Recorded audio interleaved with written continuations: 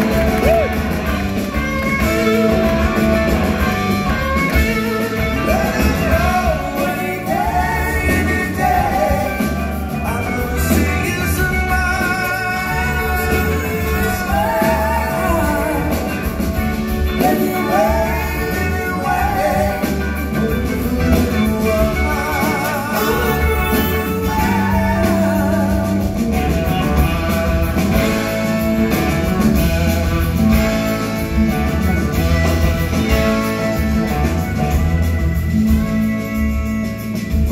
Break a and twist a knife into yourself.